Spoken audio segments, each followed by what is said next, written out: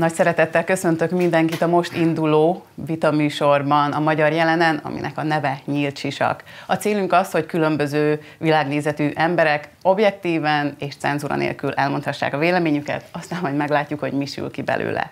A mai adásban a vendégeink Siffer András, ügyvéd volt országgyűlési képviselő, Forgács István, felzárkózás politikai szakértő, Szakács Árpád, újságíró, publicista, és Zagyba Gyula volt országgyűlési képviselő. Köszönöm szépen mindenkinek, hogy elfogadta a meghívást. Kezdjük az antifa ügyel, az antifasiszta támadásokkal. Nagyon sokan vitatkoznak arról, hogy pontosan ki is számít antifasisztának, illetve hogy mit is szeretnének ezek a csoportok, hogyan lehet őket, vagy kell -e őket terrorista szervezeteknek titulálni, illetve egyes elemzők azt mondják, hogy szélsőbalos politikai pártok állnak a háttérben azért, hogy az aktuális hatalmat megbuktassák. Miről lehet akkor itt most, itt most szó? Először is mondjuk jogilag kiszámít antifasisztának, antifának. Hát én jogilag nem tudom megfogni a dolgot, mert ez nem jogi kategória. Eleve nagyon nem szeretem azt, amikor jogi eszközökkel próbálnak meg politikai, ideológiai vitákat megragadni, értelmezni.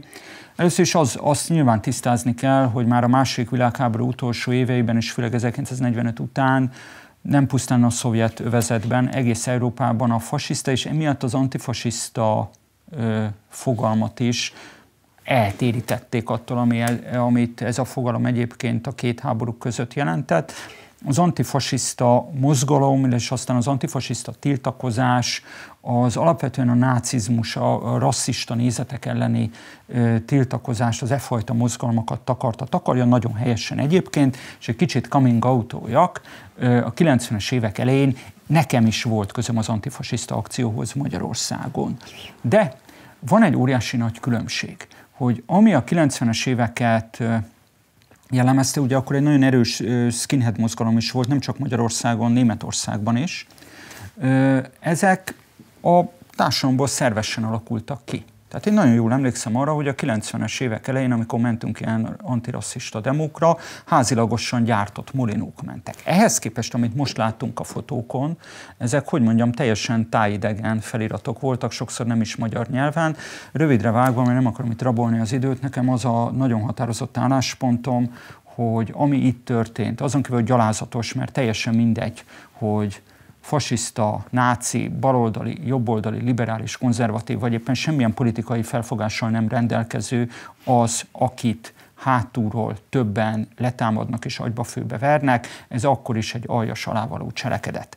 A liberális jogfelfogás pont azt követeli meg, hogy mindenkinek azonos joga van az emberi élethez és méltósághoz, tehát innentől kezdve nem lehet magyarázat az, hogy az áldozatoknak egyébként mi a világnézeti meggyőződésük. Ez egy aljas alávaló támadás volt, teljesen mindegy, hogy milyen jelszavakkal és, és, és mulinókkal vonultak, ami nekem elég valószínű, hogy ehhez nem magyar szervezeteknek volt közük. Biztos voltak magyar résztvevők, meg magyar kontaktok. Ez alapvetően egy importtermék Kellett, volt. hogy legyen. Importtermék volt, káoszkapitányok vezényelték ezeket ide, részben a hazai káosz teremtés érdekében, részben pedig, hát tessék megnézni, miért vonult ott a, föl a teljes német sajtó. Lehessen, ugye a németeknek nincs jobb szórakozásuk, mint bemutatni azt, hogy Magyarországon dúl a fasizmus. Szerinted ki hívta őket ide? Komolyan Szerintem nem kellett Gyula őket Szerintem hívni. Nem kellett hívni. Nem, mert én még tovább megyek. Szerintem az életszerű? Teljesen életszerű, mert ez, nem, ez alapvetően nem Magyarországról, vagy csak nagyon kis részt Magyarországról szól. Ö, egész Európában megy egy zavarkeltés. András, de szerinted az életszerű, hogy úgy, jönnek, úgy jön ide ez a, ez a most már kiderült ugye az elmúlt hetekben, hogy ugye ez a Hammerband nevű mégis igazából terrorszervezetnek is lehet már tekinteni. Tehát ugye a német sajtó ugye elég terjedelmesen foglalkozik ebben. Kurt kapcsolatokkal, kőkemény, kőkemény terrorszervezetre hajazó felállásba működő sejtek, és szerintem ezeknek nem volt magyarországi kapcsolata. Tehát ezek kitalálták, hogy ide jönnek, Tehát Igen, ide kitalálták. Gyula, ö, pontosan idézzél engem. Nem, várj, várj, Biztos nem volt magyar kapcsolat. De, várj, ne, de nem, szer, nem szerveztek nekik szállást, nem jelöltek meg nekik célpontokat. Gyula, nem ezt mondtam. Gyula, jó, hát most nem... Gyula. Jó, jó. Tehát, egy, egyébként két... önmagában, hogy miként jöttek ide, vagy kiszervezte ezt a hátteret, sokkal fontosabb kérdés, hogy hogyan tudták ezeket a cselekedeteiket véghez vinni. Hát hol voltak magyar a magyar szakszolgálatok? Nekem most eszembe jutott... Megmondom neked, hogy hol voltak, minket figyeltek meg. Nekem most eszembe jutott egy történet, nagyjából 5-6 évvel ezelőtt Székelyudvarhelyen volt egy rendezvény, ez volt ennek a rendezvénynek a neve, hogy a Nemzeti Dal napja. És a Nemzeti Kulturális Alap támogatta ezt a rendezvényt, Moby Dick és más zenekarok is felléptek, és emellett a Romer, a romantikus erőszak is. Azonnal a akkori média, baliberes média rácsapott eh, erre a történetre, és az volt ennek a konklúziója ennek a rendezvénynek, a Székelyudvarhelyi rendezvénynek, hogy eh, magyar állami pénzen támogatnak olyan rendezvényt, ahol skinhead zenekar is fellép. Na most eh, a romantikus erőszak nem skinhead zenekar, az egyik legjobb magyar rockzenei előadó ezen a téren, de ezt a stigmát ráültették erre a történetre is. De nem ez a lényeg, hanem az, amit most mondok. Nagyjából szintén öt évvel ezelőtt, nem sokkal később a rendezvény után egy olyan élethelyzetbe kerültem, amikor akaratomon kívül ráláttam egy olyan jelentésre, egy olyan belső dokumentumra, ami a szakszolgálatokhoz kötődik. És ez nagyon érdekes, mert arról szólt ez a dokumentum, hogy figyelmeztették a magyar szervek a román kollégáikat, a román titkosszolgálatot, arra vonatkozóan, hogy figyeljenek a, a székeudvarhelyi rendezvényre, mert ott szélsőséges magyar emberek jelennek meg.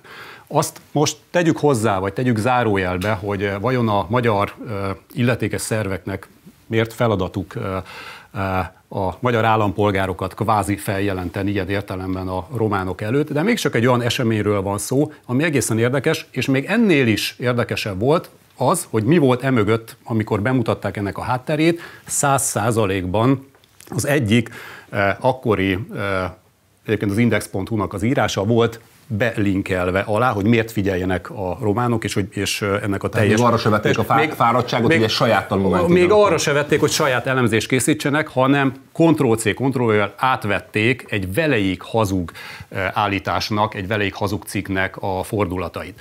És, és akkor ilyenkor jönnek, jönnek a kérdések, hogy, hogy, hogy bezzeg most, ebben a pillanatban hol voltak ugyanezek a szervek? Tehát, tehát hogy, hogy nem tudták ezt megakadályozni? Megvannak ennek a nyomai, kommunikáció internetes térbe, ezek hogy szerveződnek, tehát ezek, ezeknek a lekapcsolása, főleg azután, most, és nem csak a titkosszolgálatokra gondolok, hanem megtörténik egy eset, egy támadás, és utána megtörténik még egy, megy tovább, randalíroznak. Figyelj, Foly, a rendőrség ennek kommunikációból foly... kiderült, hogy a rendőrség teljesen vakó volt, tehát a rendőrség a második támadás után kezdett gyanakodni, hogy itt valami sorozatról van szó, kiderült, tehát figyelj, én végignéztem, a, meg végigkövettem ezt az egész ügyet, a rendőrségi kommunikációból az derült ki, hogy ők most kezdik felvenni a fonalat. Tehát ez derült ki belőle, hogy teljesen vakon vannak, ami annak köszönhető, hogy a kedves magyar szolgálatok, titkosszolgálatok ezzel az ügyel, tehát hogy a antifa mint veszélyforrás, nem, tehát mint, mint biztonsági kockázat, mert nem mondjuk, hogy nem az, mint biztonsági kockázat, nem volt eddig látókörbe. De, de, de miért nem? Tehát miért nem Azért, Gyula, mert erőszak eddig nem volt. Tehát, hogy, és én örülök önnek az András... Egész Európában van. A, de nálunk nem is. Ez... Tehát, a, ez, ez a brigád, aki itt megtámadott embereket Budapesten, ez 18 dokumentált támadást követett el Németországban. Most mondok egy nagyon furcsa dolgot, hogy nem, nem, nem az Európai Unióban vagyunk? Csak kérdezem. Csak itt, itt az András Igen? mondta, hogy coming out ebben a dologban, bizonyos tekintetben talán én is, olyan, és örülök, hogy a 90-es éveket idehozta.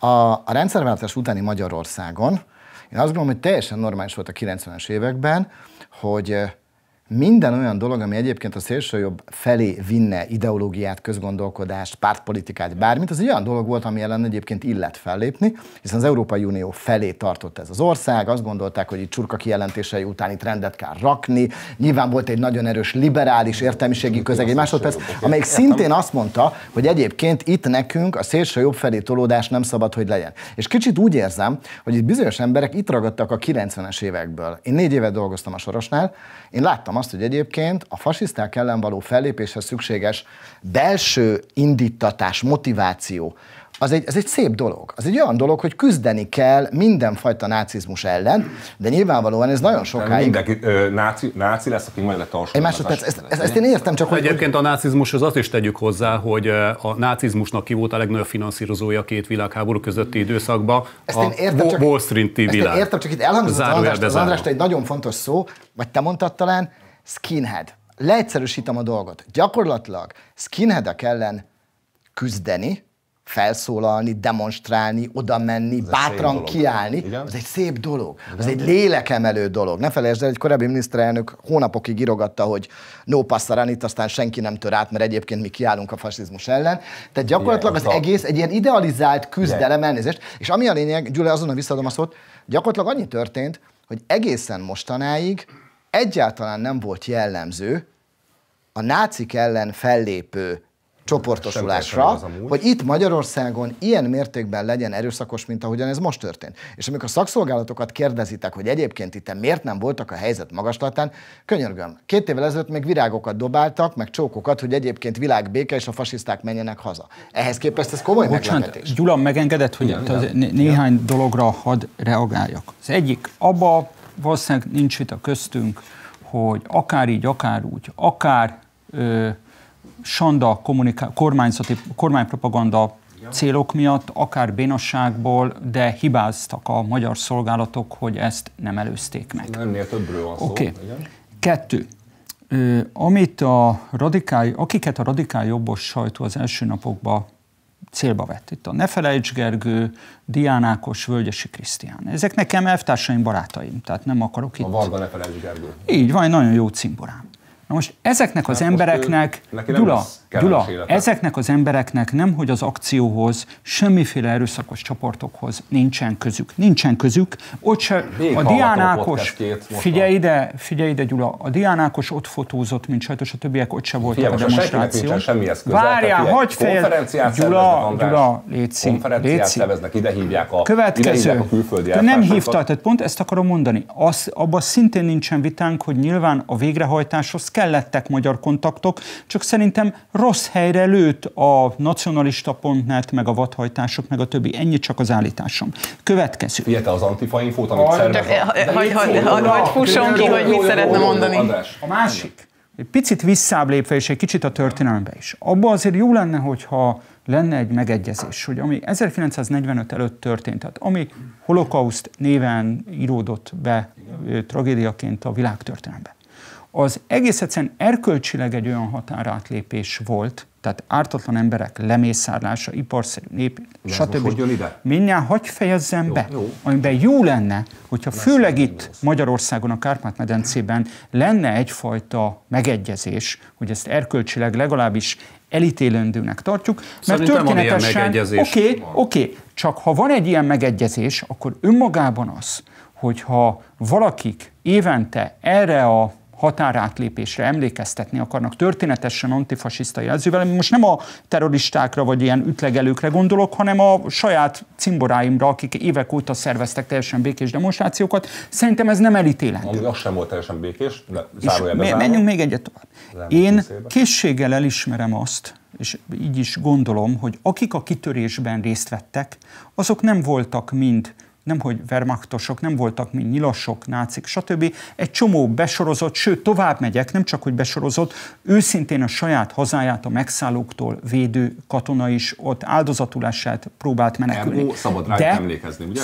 Én jó. ezt nem akarom jó, elvitatni, erről, jó, csak, csak te meg azt ne vitasd el, hogy akik az antifasiszta ellenállásban részt vettek 44-45-ben, az én dédapám vezette a, a politikai ellenállás 44. március 19-e után. Az én nagyapámat nem a zsidó származása miatt vagonírozták be, hanem azért, mert történetesen a Margit hidat próbálta megmenteni a felrobbantás alól. Ezekre, vagy a ö, apámnak a nagybátyja Stollár Béla mellett volt antifasiszta ellenálló. A mai Stollár Béla utcába.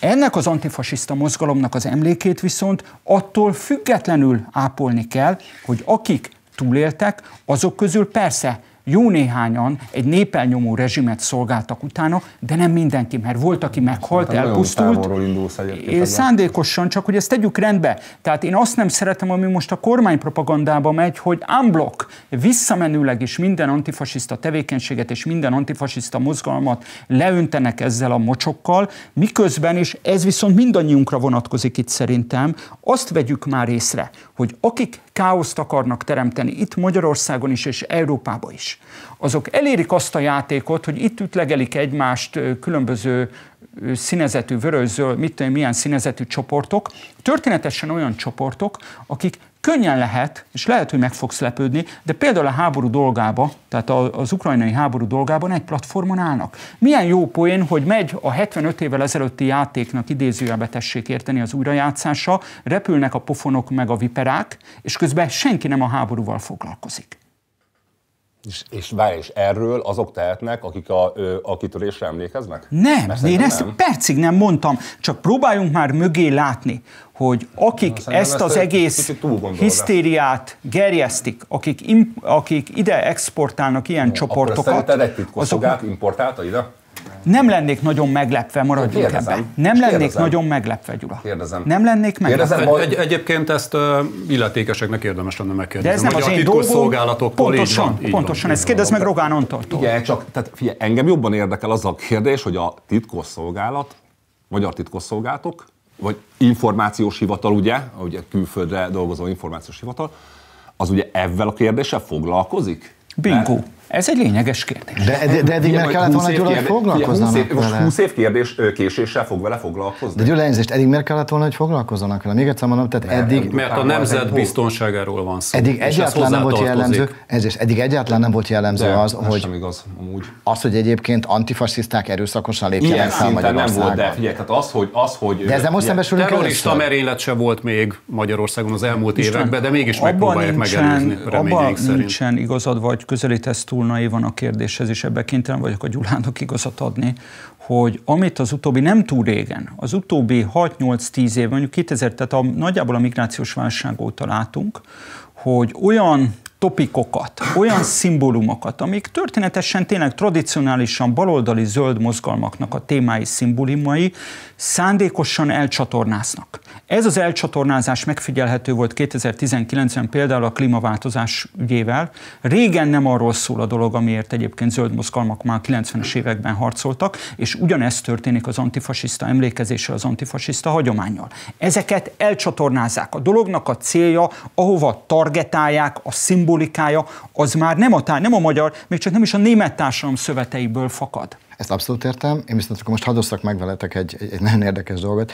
Egy ismerősöm konkrétan azt mondta, Gyula egyébként valószínűleg a te szavazód volt 2010 környékén, hogy egész egyszerűen a kitörésnapi rendezvény az annyit finomodott, hogy mostanra gyakorlatilag egy délutáni zsúrnak tűnik, ezzel ellentétben a másik oldalon pedig az antifasiszták pedig egyre erőszakosabbak lettek. Tehát, hogy ő pont azt látja, közismerősöm, hogy egész egyszerűen valahogy a társadalom felé mindaz, ami a kitörésnapi rendezvényhez kapcsolódik, ez nem csak egy rendezvény. Az, akkor rendezvény sorozat, az gyakorlatilag nem olyan mértékű elutasítottsággal bír, mint mondjuk tizenakárhány évvel Erre ezelőtt. szerettem volna kiukadni egyébként. Tehát, hogy, hogy ennek a társadalmi megítélése sem feltétlenül az, ami. Igen, Viszont ez csak egy pillanat, csak hogy itt, amikor azt mondják, hogy... ugyanez volt a helyzet. Figyelj, tehát elég régóta vagyok ebbe a, az egész mozgalmárkodásban benne, hogy, hogy lássam. Tehát, hogy ugye 30 éve leköpködtek azért, amikor ö, Trianon rendezvényt csinálták, most meg, most meg hát még a Fidesz narratíva. is leköpködik. Még a Fidesz is. Figyelj, most meg állami narratíva. Tehát figyelj, a kitörésre való megemlékezés, az egyébként ugyanezt az utat járja be. Akkor elnézést, most gyakorlatilag ott, ott tartunk, hogy ott tartunk, hogy néhány alátámasztja az én teóriámat, ne haragudj. Ez alátámasztja, amit most mondtál, Gyula, mert azt fogadd el, hogy bármennyire utálod, vagy nem tudom, vagy utálja a nacionalista.net, tök mindegy, akár a Ne felejts Gergőt, akár a Szikrát, stb. Egyébként a Ne felejtségnek a Szikrához sincsen semmi közük, de mindegy. Azt azért feltételezzük a másikról, hogy épeszű és ezt ők is érzékelik. Tehát az, hogy magyar fejben fogalmazódott meg az ötlet, hogy itt most rajtaütésszerűen ütlegelni kell, idézőjelbe értsett fasisztákat, jelentsen ez bármit, ez teljesen kizárt. Pontosan emiatt kizárt, amit te mondasz, hogy kezdett domestikálódni ez az egész történet. Igen, és kizárt, és akkor mégis hogy kerültek ide? Mondom, ez egy Schengen van, felülsz a vonatra hát Bécsben, Frankfurtban, és így már, Te is mehetsz Aténba. Én ezt értem, de te ezt végigkövetted egyébként ennek, ezt az egész ügyet? Tehát, pontosan, el, annyira, amennyire, összes pontosan létező... annyira, amennyire egyébként egy laikus tette. Tehát, hogy... Figyelj, de figyelj, kiderült ebből az egész ügyből, hogy itt kőkemény magyar kapcsolatok voltak célpont megjelölésben. Gyula, én, én ezt sem vitatom. Ezért kalauzolták őket. Gyula, én ezt sem vitatom. Hónapokon keresztül, hónapokon keresztül konferenciák zajlottak erről, nem csak Magyarországon, Bécsbe, Figyelj, ki, itt ebben egyébként csak halka mondom, még, még egy-két cigány kapcsolat is van benne. Csak, most halál mondom. Én ezt sejtem egyébként, tehát én ezek körülbelül... Horváth Feri bácsi, stb. Tehát itt, itt, azért még, itt, itt azért még a titkosszolgálatnak lenne, lenne dolga. Én szerintem ezt egy kicsit túl, túlreagálod yeah. ilyen oldalról, de egy másodperc, egy gondolatom hadd legyen még Gyula. Én azt gondolom, egy másodperc, hát, nem vagyunk ahhoz hozzászokva Magyarországon, hogy egyébként, ha most csak abban gondoltok bele, hogy a 90-es évek második felében a, a globalizáció ellenes demonstrációk szerte Nyugat-Európában hogy néztek ki, amikor egyébként több száz ember verte a rendőröket, több száz ember küzdött egymással. Tehát, hogy valamilyen... De miért kellene ideológia... ezt hozzászoknunk ez, ez a tér? Nem, most meg vagyunk ezen lepődve, ebbe hogy... Igaz, hogy... Árpi, ebbe, ebbe az Istvánnak azért van igaza, mert ha valami a magyar, hogy mondjam, mozgalmi kultúrából, talajból serken ki, akkor az olyan is, mintha a magyar. Tehát most mondjak egy tök más példát, most túl azon, hogy a Globkrit tiltakozások szinte már-már nevetségesen békések voltak, meg kicsik voltak. Ott van, tessék, ott a szurkolói szubkultúra. Hát most, amikor volt ugye az MVM csarnoknál a Fradi Újpest némi angyalföldi segedelemmel párbaj, az első rendőri osztak megjelenésénél szanaszét futott mindenki. Nézd meg ugyanezt Hollandiában, Németországban. Tehát ebbe, ebbe az Istvánnak igaza van, én csak abban bátorkodtam vele vitatkozni, hogy ha teszi a, teszik a dolgukat a magyar szolgálatok, pontosan Gyula, ahogy mondtad, az információs, a magyar hírszerzés is, akkor föl kell arra készülni, hogy vannak importtermékek, amit pont egy idézőjelbe tessék megint érteni, egy renitens országba nagyon hamar el akarnak juttatni. Ezért most ma Magyarországon szerintem senki nem tudna megszervezni 300 embert bármilyen demonstrációra úgy, hogy azokat rendőr vigye el, de 300 emberről beszélek legalább. Nem lehet. Semmilyen oldalon. Nem tudsz egy akkumulátorgyár létesítés vezetés ellen 300 embert összekötni, lekötözni, lepakolni, egyebek. Azért, mert, azért, mert ez hiányzik, hiányzik gyakorlatilag a, a 90 tehát a rendszerváltás utáni Magyarországról ez teljes mértékig hiányzik. Ilyen formában a, és ezért mondom, hogy a skinheadeket itt említetted, gyakorlatilag nincs érdemi ideológiai olyan típusú mozgalmi megjelenés gyakorlatilag az elmúlt 20-25 évben Magyarországon, ami legalábbis szerintem indokolná azt, hogy az azzal ellenérdekelt fél, vagy akár a szolgálatok De ezt tudják erre is, ezt tudják is az érintettek.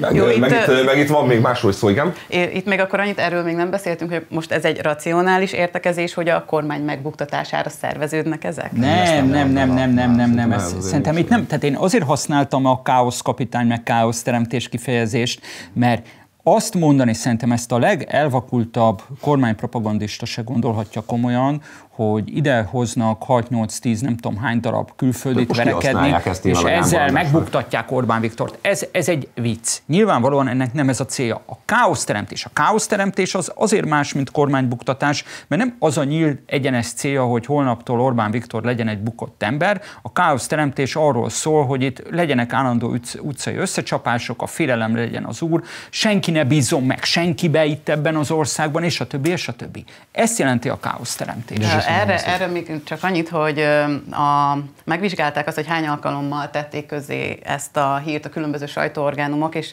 az egyik kormánykritikus lap mondjuk így egy ilyen egy mondattal ezt így tudta le, hogy nem mintha először történne olyan Budapesten, hogy neonácik és antifasiszták egymásnak esnek, bár jellemzően az előbbiek a kezdeményezőek, az áldozatok pedig gyakran csak azt követően válnak tudatos antifasisztává, hogy maguk is átélik az erőszakot.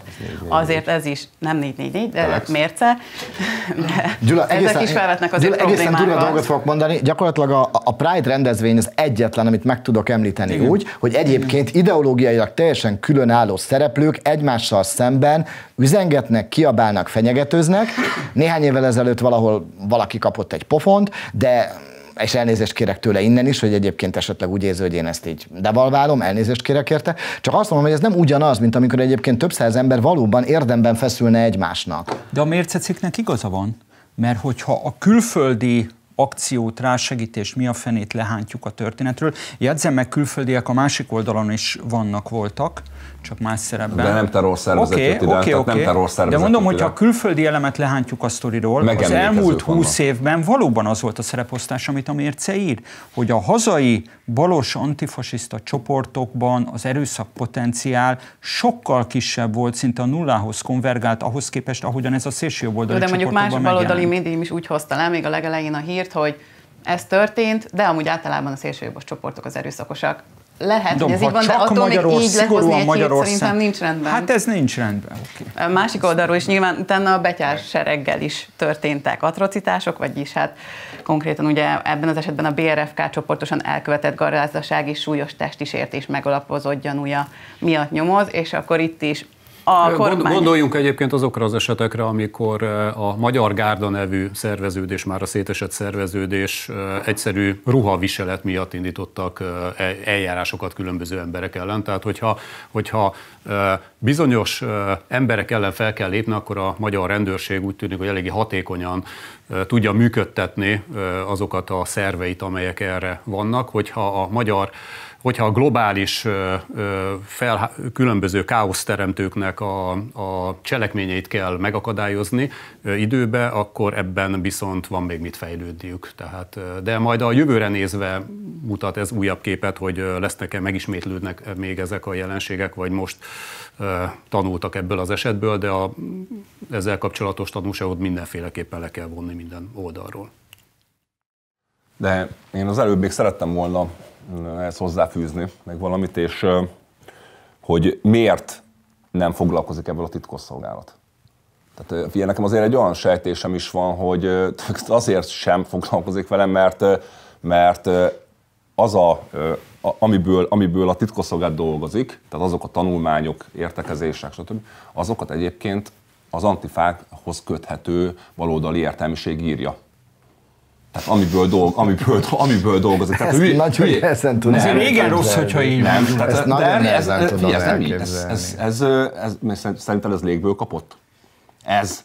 Nem tudom, tehát ha... ha tehát, tehát, figyelj, tehát, figyelj, tehát, Azért vannak operatív információk egy szolgálat tevékenység, hát, amik nem szociológiai tan... Tehát, hát Ugye, ez a probléma. Tehát, várjál, tehát az, hogy mondjuk a titkosszolgálat mit tekint, mit tekint biztonsági kockázatnak, azt az alapján szokta eldönteni, hogy mondjuk milyen értekezések, tanulmányokat írnak szociológusok. De, figyelj, tehát, tehát figyelj, az egész szociológia arra van kihegyezve egyébként, hogy a szélső jobboldaliak erőszakosak, tehát és, figyelj, és, és figyelj, figyelj, én ebbe a közegben mozgok, tehát én jobboldali mozgalmár körülbelül mozgok 30 éve, Szerinted hány ilyet írtak rólunk? Tehát mennyire figyelj, tehát figyelj, tudok mondani neveket, akik, ezeket, akiket, akik ezekbe értekeznek, akik ezeket írják, tanulmányokat írnak, és, és utána erre hivatkoznak a titkosszolgálatok.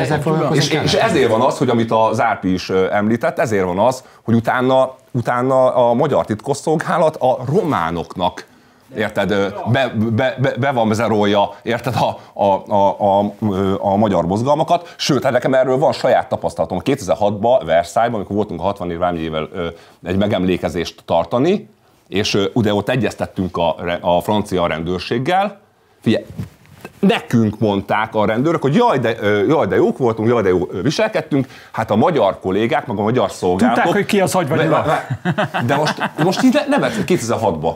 Várja már, és hogy a magyar szolgálatok nem ezt, nem ezt jelentették le rólunk. Tehát a magyar szolgálatok ugyanúgy be van Fél, Félrevezették a franciákat. Félrevezették a franciákat. Egyébként nem is voltak amúgy, nem is örültek ennek ennyire, mert egyébként 4-500 francia rendőrnek kellett kijönni, került egy valap pénzbe nekik.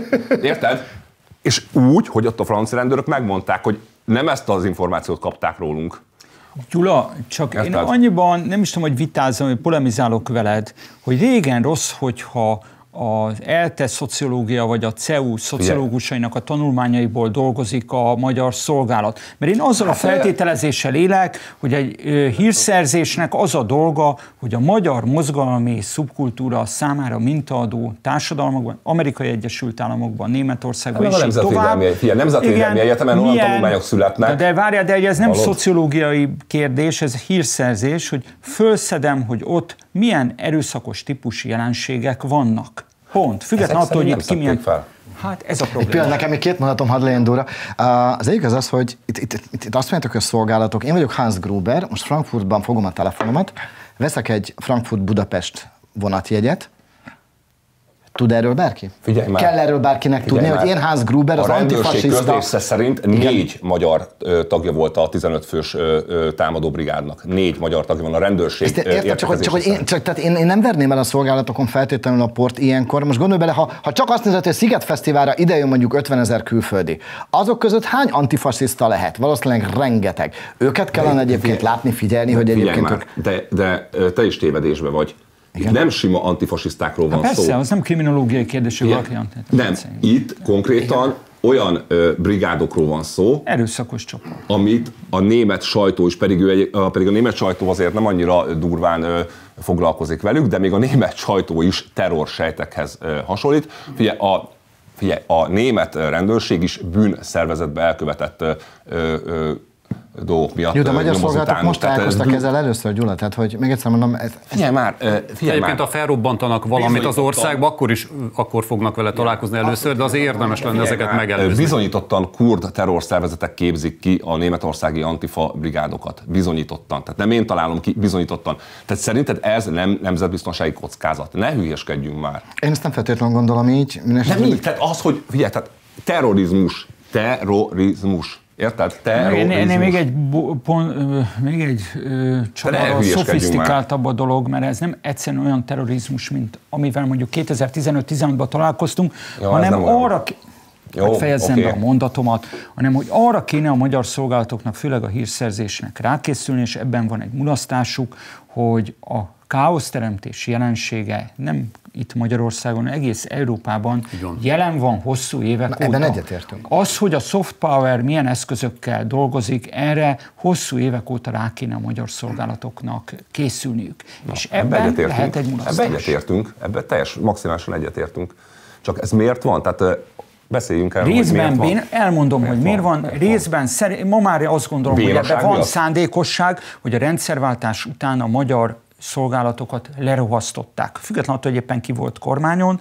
Másik, hogy főleg miután a propaganda miniszternél vannak ma már a szolgálatok, élek a gyanúperrel, hogy lehetnek olyan esetek, amikor bénosság ide vagy oda, de fölmegy az információ, de egy politikai döntés születik arról, hogy nekünk kommunikációsan pillanatnyilag jó ötletnek látszik, hogy nem csapunk le, nem adjuk tovább az információt a rendőrségnek. Szerintem lassan lépjünk tovább. A, lényeg, a lényeget mondtad ki, pontosan. Jó, hát akkor remek pont, akkor lépjünk tovább a következő témákra. Igazából csak röviden beszéljünk arról, ahogy ennél az Antifa ügynél és kicsit a, a platformok kényekedvük szerint formálták ezt az ügyet, illetve Bite Zsolt ügyénél is kicsit ezt láthattuk, hogy kicsit kihasználták, kicsit másképp adták le. Mennyire kell most megreformálni a gyermekvédelmi törvényt, mennyire lehet felhúzni ezt most az LMBTQ propagandára?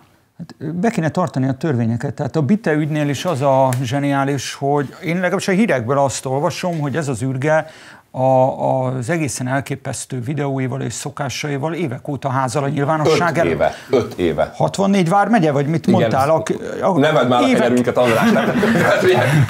Ne, de hogy évekkel, most teljesen mindegy, hogy ki Gyula, hogy évekkel ezelőtt bemegy az nem információ. Oké, oké, okay, évekkel ezelőtt bemegy az információ a klikhez. Tehát, hogyha Vármegye egyszer... vezetője, Barcsa Turner Gábor, öt éve bejelentést tett a kliknek. Öt éve. Kormány államosítja, államosítja a közoktatást, az állam államosítás növeli is a kormányzat felelősségét. Tehát azt a kérdést kéne föltenni, hogyha egyszer ott van az államnál ez az info, sőt ez a bite nyilvánosságra hoz. Tagad, figyelj, tehát ezt most a klikkel ismert, hogy ott van az info, de ezt egyébként a, a Fideszes sajtó is, ezt, ezt ugye kikerülni. Jó, de hát figyelj, most, most, most mindenki, figyelj, tegnap is néztem este egy, de, Jula, egy egy vedd észre, M1-es beszélgető műsor, Mindent, ott ülsz a karmelitába. Figyelj ide, Tehát játszunk el a gondolattal. Várjál, Gyula, ott ülsz a karmelitában. Ott van ez a pedagógus tiltakozás sorozat. Ami azért kellemetlen a Fidesznek, lássuk Most be, mert szerint... És miután Sajnálatos módon a tiltakozások szervezői fraternizáltak ezzel a bitével hónapokon keresztül. Ez egy aranytojástól tyúk ez a sztori Rogán Antalnak. Hát innentől kezdve gyakorlatilag ki tudja kommunikációsan végezni az egészet, Sajnos. miközben a tiltakozás eredendően teljesen jogos volt a kormányjal szemben. Fia, amit még én is azt mondom, hogy, hogy a tanártiltakozásoknak van jogalapja, várjál már. De a klikket kitartja fent? Orbán Viktor. Jó. A klik öt éve, tehát most már elismerte a klik, hogy beér, beérkezett hozzá a jelzés. Várjál, ugyanarról a videóról, amiért most elvitték. Ugyanarról a videóról. Tehát figyelj, normális államba, itt most idézőjelben fejek hullanak. Tehát normális államba ezért a kliknek a vezetőségét azonnal elbocsátják, figyelj, egy büdös vizsgálat nem indul. Indul? De nem, arról de kéne kommunikálni, hogy az... vizsgálatot indítunk arról, ne, nem a Bita ügyet vizsgáljuk ki, tehát az a rendőrség dolga most már, nem most már rend, hanem a klik azt vizsgálja ki, hogy ki mulasztott abba, hogy öt éve ott volt a jelzés, nem egyszer, öt éve ott volt a jelzés, és nem történt semmi. Ki tehet erről? Egyébként ez a kérdés... Ez... Hány, hány gyereket rontott meg az? Bocsánat, 5 éve volt, 15 éves a, a, nem. Igen, igen, igen. Tehát, Tehát öt igen, évvel ezelőtt igen, az a videó, az amelyben a videó, ő... most elvitték a Bitert Zsoltot, az nem most készült, hanem öt éve. Tehát egy a sajtó videó. Aha.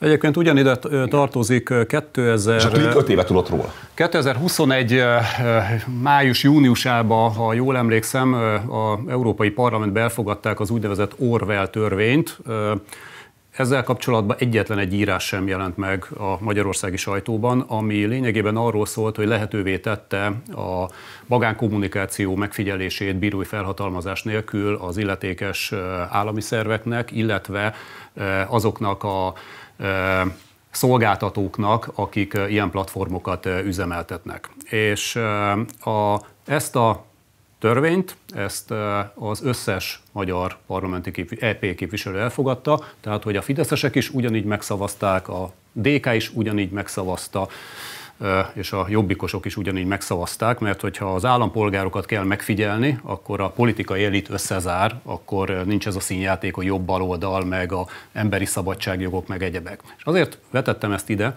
most jutott eszembe, hogy ezt a törvényt azt pont lassan két év, az pont arra hivatkozva fogadták el, hogy megvédjék a gyerekek jogait, a pedofil tartalmakat hamarabb fel lehessen tárni, és hogy hatékonyan lehessen reagálni, és pont a gyerekvédelem volt a központja, központi érvelése ennek a megfigyelése, ennek az Orwell törvénynek.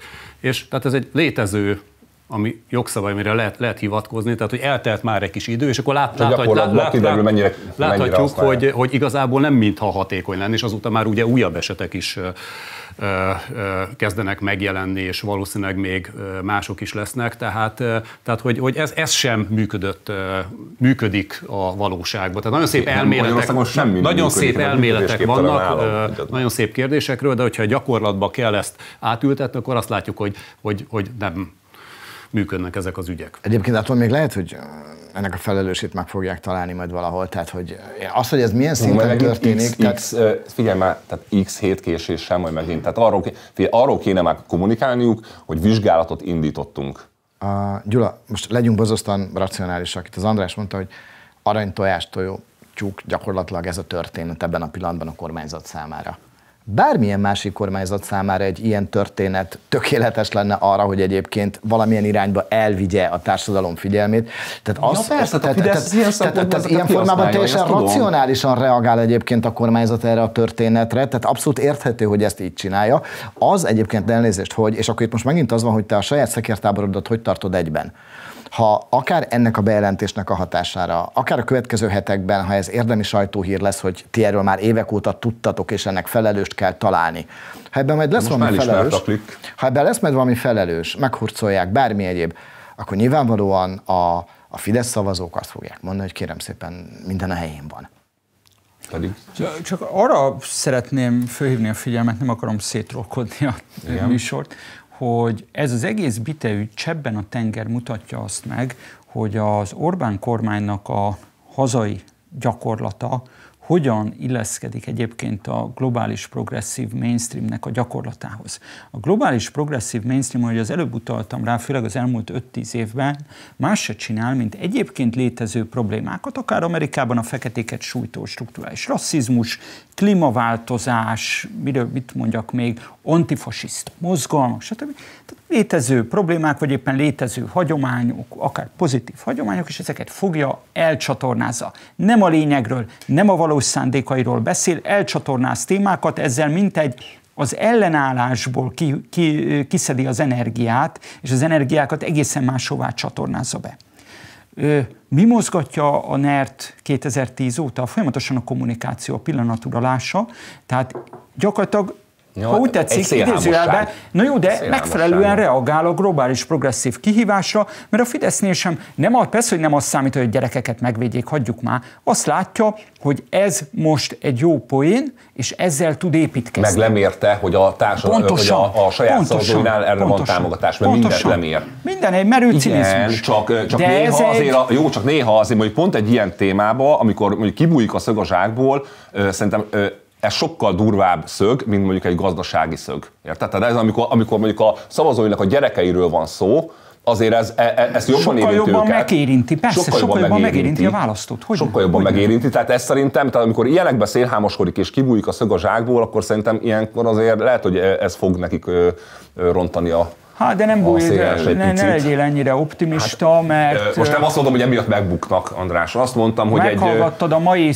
mai igehirdetést a közrádióban, hát abszolút a maga vitorlájába kanalizálja be a szállt. Egyébként maga a NER az, tehát hogy csak a saját maga világának kommunikál. Tehát, hogy, hogy neki van egy külön tábor, úgy nagyjából tudja, hogy mennyi, mennyi kell ahhoz legyen, hogy a hatalmát fent tudja tartani, és mindenki, aki kívül esik, egyáltalán nem érdekli. Persze. Semmilyen, a legminimálisabb formában sem. Hát, olyan és szinten neki... érdekli, hogy, hogy az, aki kívül esik, az ne kapjon kommunikációs lehetőséget. Az annyira érdekli, de, de hogy annak kommunikáljon, az nem érdekli, az igaz. Igen, tehát hogy neki, de ugye azért neki, azt, neki... azt annulálja, azért annyira érdekli. Na és akkor mennyire érdekli a kormányt a debrecenieknek az ügye, ami ugye hát azért alapvetően nem egy annyira kormánykritikus része a hazánknak, Mennyire releváns az, hogy Magyarország középhatalmi státuszt kaphat, mint akkumulátorgyár nagyhatalom? Mert ugye mondják, hogy ez a cél öt éven belül, hogy a negyedik akkumulátor. Ez egy tragédia. A szakértő nagyszerű Hát ez egy tragédia, de nem, nem is akar. Köszönöm szépen, Gyula. Köszönöm szépen. Nem, ez azért tragédia, én, én, lehet, hogy meglepő, de alapvetően nem is rögtön zöld álláspontról rugaszkodnék ennek neki, hanem ott van Magyarország 30, bő 30, hanem 40 olyan év után, amikor szisztematikusan lepusztították a saját termelőkapacitásait. Az inflációban a legnagyobb tényező az nem a szankció, hanem az, hogy nincs még egy ország a térségben, amelyik ilyen szélsőségesen ki lenne szolgáltatva a globális ellátóláncoknak. Ehhez képest mit mond mi szuverenista, által jobboldali miniszterelnökünk? Azt mondja, hogy még jobban be kell betonozódnunk a globális ellátóláncokba, mert az, hogy mi egy konnektor legyünk a német autóipar és a kelet-ázsiai akkumulátorgyártás között, az azt jelenti, hogy végképp feladta a kormányzat azt, hogy lesz hazai termelőkapacitás, lesz erős helyi gazdaság Magyarországon, és a magyar természeti erőforrásokat, a magyar földet, a magyar vizet is odadobja, ha kell. Tessék azt megnézni, hogy az elmúlt 12 évben hányszor több támogatást kapnak munkahelyteremtésre a betelepülő multik, akár kelet-ázsiaiak, akár németek, és mennyit kapnak a hazai vállalkozások. Az arányszám pontosan ugyanannyi, mint a Gyurcsány Kóka kormány idején. Uh, itt most engem lehet az András meg fog kövezni egyébként. Uh, lehet, hogy meglepő lesz, amit mondok. Uh, Szerintem a kormány gyakorlatilag függetlenül, hogy az elmúlt tíz év gazdasági értelemben véve laikusként is azt merem gondolni, hogy egyébként nem feltétlenül volt egy, egy rossz, rossz, rossz folyamat. Szerintem a kormány bizonyos tekintetben kényszerpályán van, elsősorban a demográfiából adódóan. És akkor, amikor bárki számon kéri a kormányzaton azt, hogy hol lesz itt magas hozzáadott érték, akkor azt kérem, hogy mindenki menjen ki a körúton kívülre, és nézze meg, hogy hogy néz ki ma a mai magyar társadalom mondjuk a 15 év alatti korosztályban. Ezek után előtted van az, hogy egyébként akkor ebben az a országban... 15 év alatti korosztály, tehát az, az, az elmúlt Fidesz rendszer. Hát pontosan. Ezt, de, ki. Ezt, de ezt a kényszerpályát a Fidesz Így van. Ezt én értem, csak hogyha ez a kényszerpálya jelen pillanatban itt van előttünk, még egyszer mondom, felelős lehet nyugodtan keresni, de attól még a következő 15 évnek is működnie kell valahogy. István, valaki bevisz a zsákutcába, majd tehát bevisz a kényszerpályára, és utána fölteszi a kezét, hogy hát sajnos kényszerpályán vagyunk. Hagyjuk már ezt. Ebben igazad van, András, de akkor attól én még bent vagyok a zsákutcában. Tehát majd, majd, majd, majd megbízzuk azt, aki bevitt a zsákutcába, hogy vigyen ki belőle. Mert a... nyilván tudja, hogy merre van ki. Árpád, aki nyilván önálló. Tehát Árpád, Árpád, előre, előre, menjünk, előre menjünk, ne hátra. Árpád, én ezt ér, ó, ez tökéletesen passzol is, de egyébként. Jó, de, most megint, de várj, ti úgy gondoltok rá, most tényleg, most kérdezem, ti úgy gondoltok az Orbán rendszerre, mint ami autonóm? Én nem gondolkodom ezen, Gyula, ne, ne, ne, ne Gyula, annyiban... Szerint, egy pillanat, szerintem majd Gyula. fog megoldást keresni. Hát, Gyula. Figyelj, most ezt, a debreceni akkumulátorgyár, gyárat, meg, meg a hasonló kínai akkumulátorgyárat, szerinted, most Andrásnak teszem fel a kérdést, Igen? szerinted a kínaiak parancsára tették ide, vagy nem? Nem, hanem arról ők van kérték? szó, Szerintem, arról van szó. Az Orbán Viktor találta ki. Na még egyszer. Legyen. Eltelik Nem tíz... kínai logisztikai érdek. De van kínai logisztikai érdek. Eltelik 10-12 olyan év, amikor Orbán Viktor, és ebben saját, ez a saját döntése, nem diktátum, úgy dönt, hogy gyakorlatilag fölfűzi a magyar termelő kapacitásokat, a magyar nemzetgazdaságot a német autóiparra. Majd születik egy uniós döntés, ami független egyébként, még ha ő ott is van formálisan, nem, valóban nem Orbán dönti el, hogy, 2000, hogy a 2030-as években kivezetik a hagyományos autógyártást, elektromos autót kell gyártani saját magát csalt a csapdába, mi a reagálás? Nem le akar jönni erről a surolókeféről, hanem fölpörgeti a dolgot, akkor még jobban bekapcsolódunk ebbe. Bocsánat, Tehát, még ez, ez, egész... ez tartozik, hogy ebben a pillanatban nincsenek olyan távlatai az elektromos autógyártásnak, ami alapján ki lehet egyértelműen jelenteni, hogy ez valóban környezetkímélő megoldás. Vita, Árpi, ez nem vita a kérdés. Tehát úgy, úgy, úgy, úgy kerülünk rá erre az, a súrolókefére, ahogy említettem. Gyula, csak hogy válaszoljak neked, a, az egész Orbáni külpolitikában az a csapda, most hogyha tágértelemben, tágértelemben használjuk a külpolitika kifejezést, hogy úgy kívánja magának, vagy az országnak, hogy persze egyenlőséggel tesz saját, saját hatalmi meg az ország érdekei között, úgy kíván magának nagyobb mozgásteret biztosítani, önálló döntési ö, ö, ö, szabadságfokot biztosítani, hogy többféle hatalmi központnak riszál, most csúnyán fejezzem ki magamat. Nekem annak idején bent a parlamentben is ebből volt vitám a miniszterelnökkel, hogyha valaki egyszerre több hatalmi központ felé ajánkozik fel, az nem növeli az ország szuverenitását, hanem hatványozottan csökkenti. Jó, hadd mondjak egy másodperc. A kényszerpályát én még hadd hozzam ide egy pillanatra, mert ti ugye most láttok elsősorban külföldi érdekeket, te az autonómiát van ott kétségbe, Gyula. Én meg azon gondolkodom, hogy egyébként Borsodban ki a fene fog dolgozni tíz év múlva, abból, hogy egyébként kenyeret vegyen saját magának, meg egyébként felnevelje a saját gyerekeit. Ehhez egyértelműen Lehet, munkahely... még a debreceni akkumulátorgyárba sem mehet el, Na de pont erről beszélek elnézést, mert nem hogy, azok a. De Gyula, tehát konkrétan most az van, ha most nagyon-nagyon-nagyon erősen fogalmaznék, akkor azt mondanám, hogy ebben a pillanatban a jelenleg meglévő demográfiai folyamatok, meg a társadalom alsó decilisében meglévő, hívjuk így, potenciálból adódóan egész egyszerűen nem látom azt, hogy ki fog dolgozni, ki fog nyugdíjat termelni, ki fogja gyakorlatilag a következő 30 évben eltartani ezt az országot. Ha ebben a helyzetben Teljesen mindegy, hogy te a csak, mezőgazdaság csak a, csak, a, csak a legfontosabb kérdést vetetted fel ezen, ezen a téren, amiben 13-14 éve semmilyen érdemi Árpád, változás nem történt. Árpád, én ezt még csak nem is vonom kétségbe. Én most azt mondom, hogy ebben a helyzetben, ha itt bárki gazdaságot akar fejleszteni, akkor lehet egyébként sok víziót ide pakolni, de attól még, még egyszer mondom, a társadalom legalsó decilisében lévőknek a potenciál... az miért gazdaságfejlesztés? Egy másodperc. Uh, ha az neked GDP termel, ha onnan eladják az akkumulátort. Vagyis, ki, vagyis kiviszik, euró, mert a GDP, tehát kiviszik az országból az a profitot, bejön egy külföldi érdekeltségű cég, behozzák az ázsiai vendégmunkásokat, tehát én nem látom ebben a nemzetgazdasági Egy működő használat. gyárat kapsz, most na, eszméletlenül, eszméletlenül egyszerűen fogalmazom. Amiben, ami, ami, amiben befektetett a magyar kormány is, Árpád, nem tudom, 120 aki milliárd forint. Árpád, aki engem ismer, az tudja, Árpád, aki engem ismer, az tudja, hogy Én a szakképzésen keresztül valós társadalmi felzárkózásban hiszek egyébként ebben a pillanatban ma Magyarországon, csak az a probléma, hogy egyébként pont a célcsoportban, pont ott, ahol a gyerekek, családok, egyebek, társadalom alsó része kellene, hogy a szakképzésben megragadjanak, ott van rengeteg tennivaló, meglátjuk, hogy ebben mire jut a kormány, de még egyszer mondom, az, hogy egy gazdaságot meg lehet-e egyáltalán szinten tartani, az mindenképpen kellene a beruházások, ez szerintem teljesen egyértelmű. És ha most itt vendégmunkás, nézést, vendégmunkás. Ezek tőkeszivattyúk, bocsánat. Persze, Tehát, hogy ezek... persze, persze. Um, hadd ne nevezek meg cégneveket, senki nem veszi el Farkas Elemér cigány 18 éves fiatal villanyszerelőtől a munkát, hogy egyébként Debrecenben bárhol dolgozni De tudjon, Isten. ha ő eljut oda, hogy villanyszerelő legyen.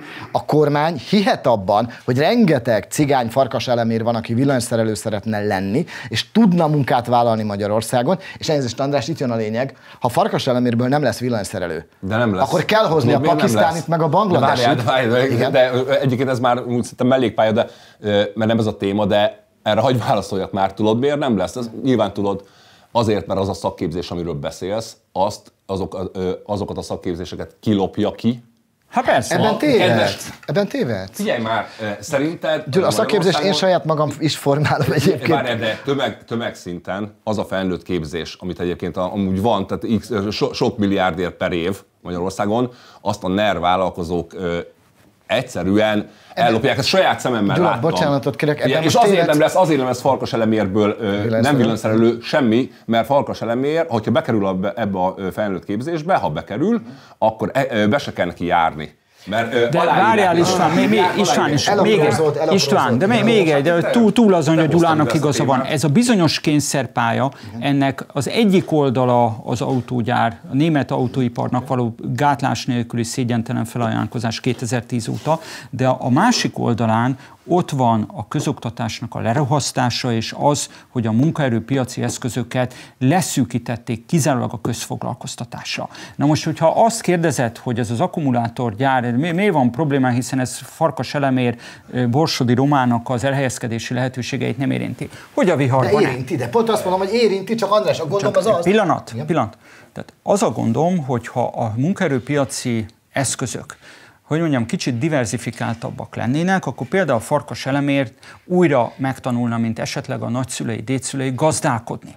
Lenne egy olyan vertikum borsodba, amelyik mondjuk földolgozná azokat a terményeket, amiket farkas elemér összegyűjt. Sőt, tovább megyek, lehet, hogy farkas elemérnek lenne lehetősége tovább tanulni, és adott esetben marketingese lehetne ennek a feldolgozóipari cégnek mondjuk Miskolcon, De és így tovább. Ez minden, ez minden adott? András, ehhez Igen, minden András, adott. pont ez volt 2010-ben meghirdetett cél, hogy a magyar kis, kis és közepes vállalkozások, a családi gazdaságok, tehát az egész agrár az arra épült fel, hogy kis magyar családi gazdaságokat hozzanak létre. Ehhez képest az oligarcháikkal hát felvásárolták, gazdaságát. felvásárolták a földet, tehát pont ellenkezője valósult meg ebben is. Egyébként a, ez a környezetvédelemhez kapcsolódó ügyben volt egy másik dolog, ami, amit, ami nem nagyon jelent meg a magyar médiában. 2008-ban volt egy beruházás tervezet az akkori szocialista Gyöngyös városába, baloldali városba. És az Apollo Tires nevű mm-hmm. gumiabroncs gyár jelent meg itt beruházóként, rengeteg munkahely, gazdaságfejlesztés és egyéb ilyen szavakkal. És a Fidesz népszavazást kezdeményezett ebben az ügyben. Hancock. Mert Árpi, Hancock, mert a Hancock az egy másik történet, de ez egy konkrét ügy, mert mindjárt meglátjátok, mi az érdekes az Apollo Tiresbe. Népszavazást kezdeményeztek, egy, hogy nem tudják a hulladékot biztonságosan hová tenni, tehát nem látják ennek a garanciáit, illetve a vízvédelem, tehát olyan mennyiségű vizet használ föl ez a gyáregység, ami, ami, ami környezetvédelmi aggályokat vet fel. Ez volt a két fő szempont.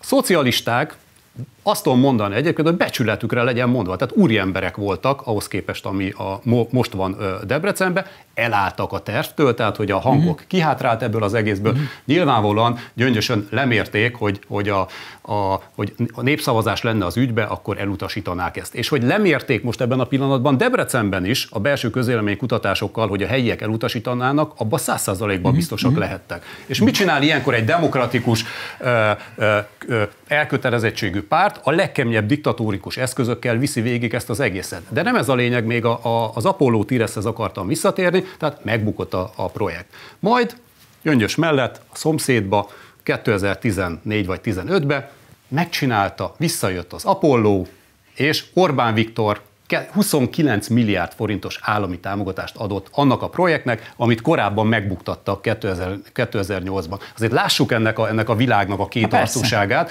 tehát hogy, hogy, hogy, hogy akkor, akkor már nem számított Érted? se a víz, se a környezetvédelem. És ha Árpés, hogyha tiltakolnak, meghosszabbítja bicskéig. Az a, az a benyezést, hogy most itt politikai morált kértek számon, akkor, amikor még egyszer mondom, tehát ez 2008, most 2023-at írunk. Hát ebbe is volt gazdasági. Ne, ne, ne, Árpés, teljesen igazad van, még egyszer mondom, csak én továbbra is azon vagyok, hogy adná az ég, és akkor most erőset mondok, hogy a 9000 munkavállaló Debrecenben, akit feltételezünk majd ehhez az akkumulátorgyárhoz, az a térségből legyen. De nem onnan lesz külföldről de, de elnézést, hát, András, hát ez, de, ez, de ez miért ne lehetne egy cél? De ez miért ne lehetne azért, egy azért, cél? Azért nem cél, mert pont nemrég könnyítették meg az ázsiai munkavállalók. Igen, ezt akartam Tudod mondani. miért? István, de tudod miért? István, de... Elnézést. Na, nagyon gonosz leszek, és ezért engem mindenki el fog átkozni. Tudod miért? Azért, mert itt dolgoznak egyéb Nem, helyeken. azért, Igen. azért, András, mert nincs az a varázslat, amivel te jelen pillanatban a társadalom legalsó decilisében meglévő gyerekeket és a családjaikat elegendő számban el tudnád Jó, küldeni István, oda, hogy dolgozzanak. Így van, István, Pont. István és bingo, bingo, bingo, Nem feltétlenül akkumulátorgyár, villanyszerelő sincs, ezt akartam, még a, ezt akartam még az előbb mondani, hogy téged pontosan itt csal csapdába a kormány. Mert azáltal, hogy behozza a kelet-ázsiai munkavállalókat, ez nem fai meg kulturális probléma elsősorban.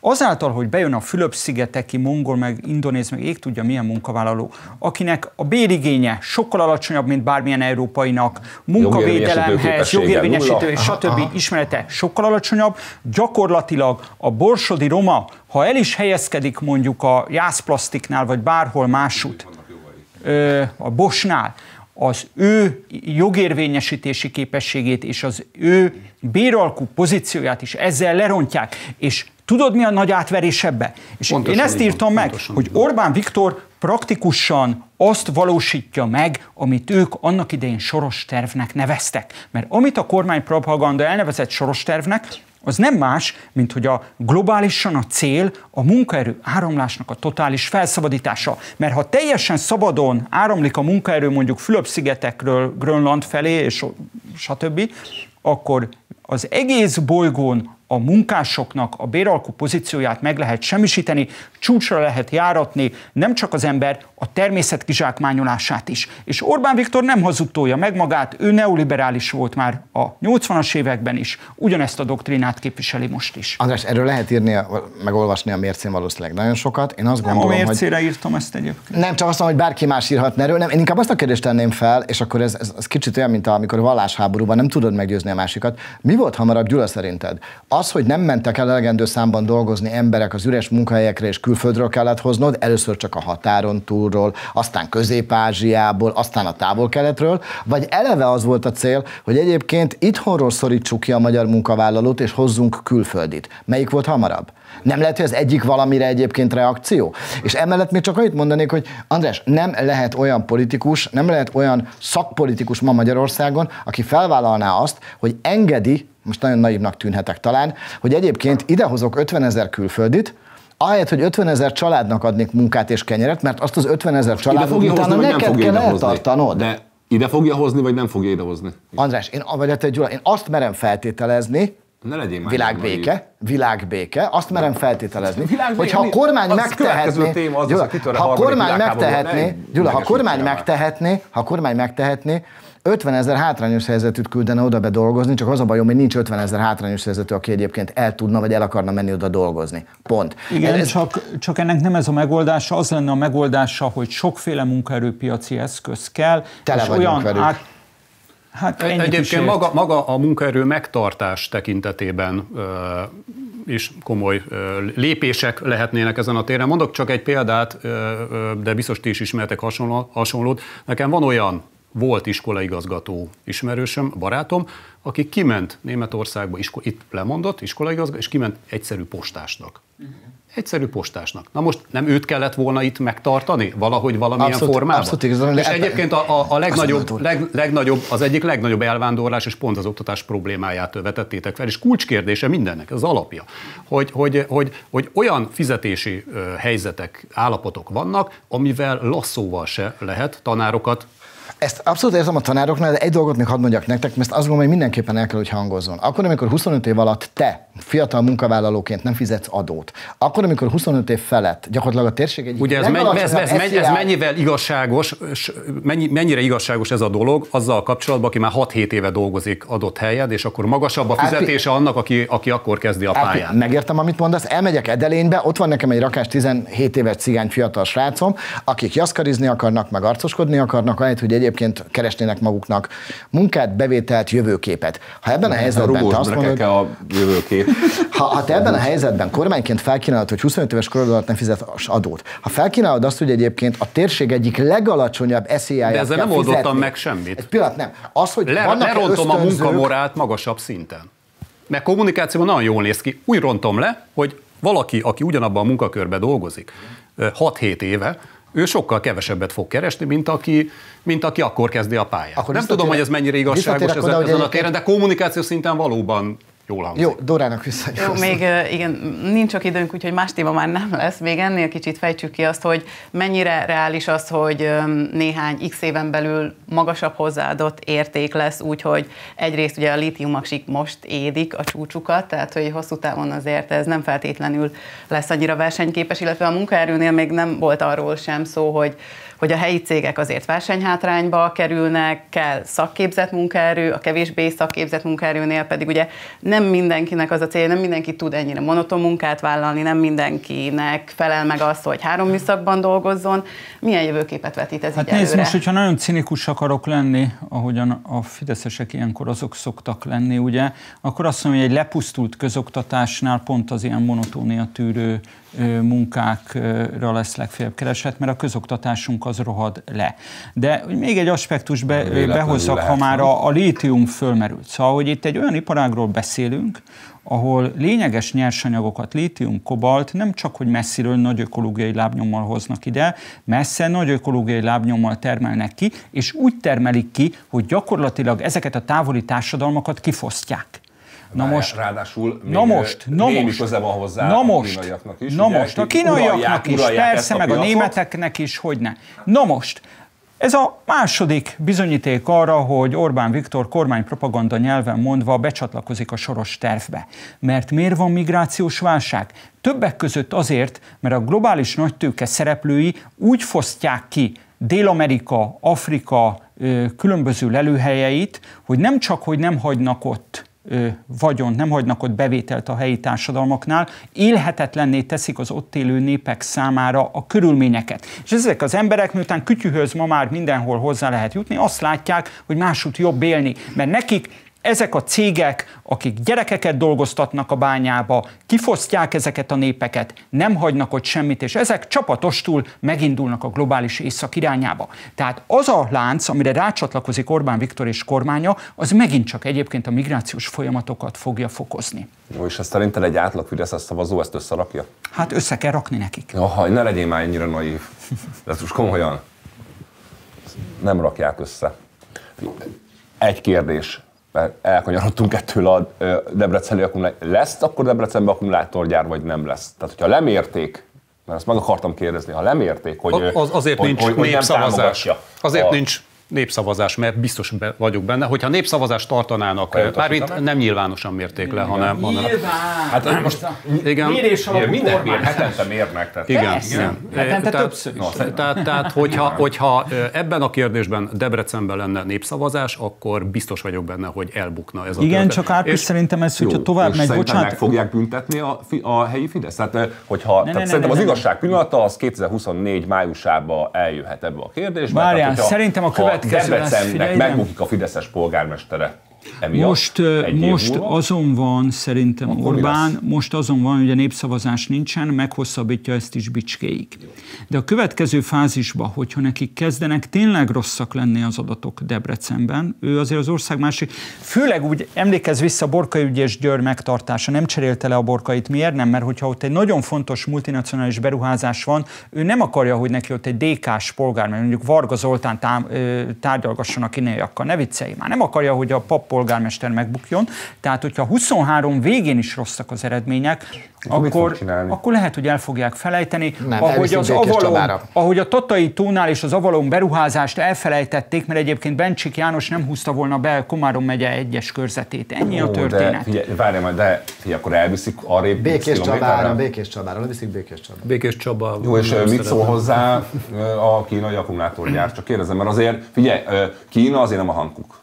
Tehát Hát nem, de... Tehát, tehát azért annál azért szerintem de diktatórikusabb. Diktatórikusabb, de pontosan ezért lehet, megengedem, nem tudom, lehet, hogy egyébként egy politikai vezető éppen ezért jobban is tud tárgyalni velük, mint egy tisztán piaci alapon gondolkodó cég vezetésével. Hát azt hiszem, hogy a környezetvédelmi aspektusára már nem lesz idő, pedig az is érdekes, ott is sok átpolitizálás van, viszont sajnos most lejárt az időnk, úgyhogy, úgyhogy ebben most ennyi volt, most a háborúra sem térünk rá, talán akkor majd máskor valószínűleg még Háború két rossz. hét múlva is aktuális lesz, úgyhogy külön köszönet azoknak, akik a végéig kitartottak, és tartsanak velünk legközelebb is, viszontlátásra. Köszönjük szépen. Köszönjük. Köszönjük. Szépen.